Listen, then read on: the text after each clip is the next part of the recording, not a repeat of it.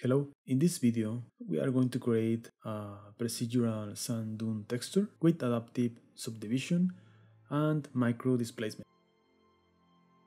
To start, let's create a plane. Increase size to 20 meters. Now we need to switch to cycles. Experimental.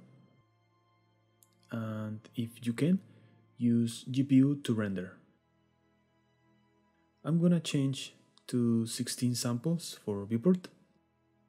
Select the plane and add a subdivision surface modifier. Enable simple and adaptive subdivision. Now I'm gonna create a new window here and open shader editor. Create a material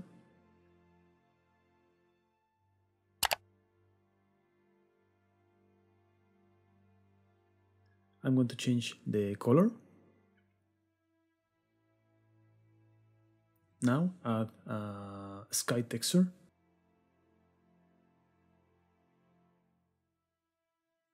Now in material properties, scroll down.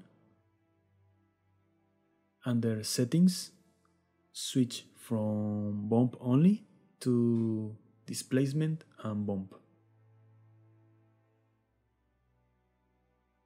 Add a Voronoi texture,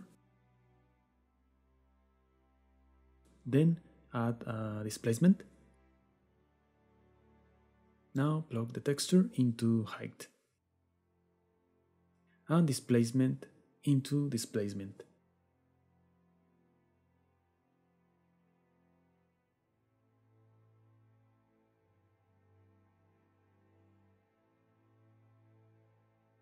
We can tile the texture with scale here in Voronoi texture or just select it and press Ctrl plus T to create a mapping and coordinate nodes.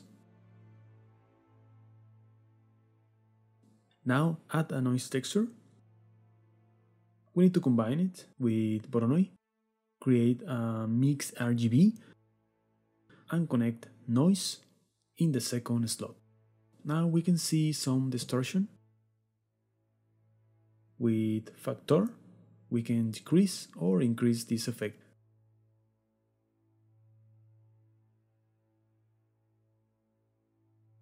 I'm going to set distortion to 0.5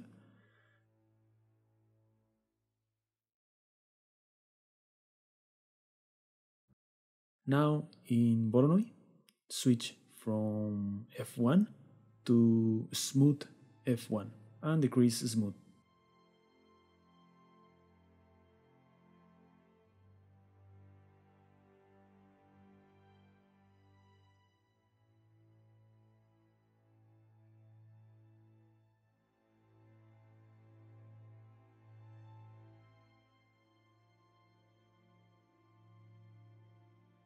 To add more detail to the surface, add a noise texture. And again, a mix RGB. Combine noise with Voronoi. Increase the scale to 140 and decrease factor so we can mix both textures.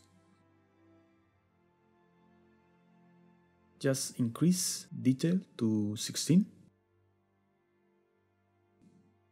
and we can create a mapping node and increase x-axis to get this effect.